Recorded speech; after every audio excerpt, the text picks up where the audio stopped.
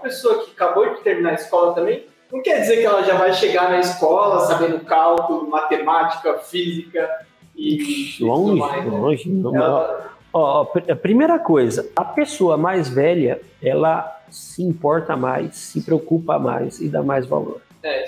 Tem mais O maturidade. tempo de- dela, ela tem mais maturidade, ela enxerga o mundo de uma forma diferente, ela sabe que o tempo é importante. Eu lembro que eu ia chegar na sala de aula, é lógico, às vezes você está cansado, você, né, no meu caso, como eu disse, eu levantava quatro e pouco da manhã, o horário certo de eu levantar era 4h40.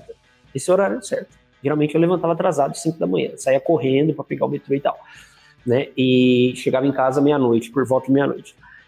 Então, às vezes você está cansado, né? Mas num dia normal, quando tinha tava enrolando na sala de aula, aquilo para mim era uma perda de tempo, uma perda de tempo te- tremenda. Eu olhava e falava, meu, eu poderia estar dormindo, eu poderia estar com os meus filhos, eu poderia estar fazendo qualquer outra coisa, não sei se estar aqui. Então, a pessoa mais velha, ela tem esse pensamento. O cara mais novo, meu, eu tenho lembrança da galera preocupada com a série que ia sair.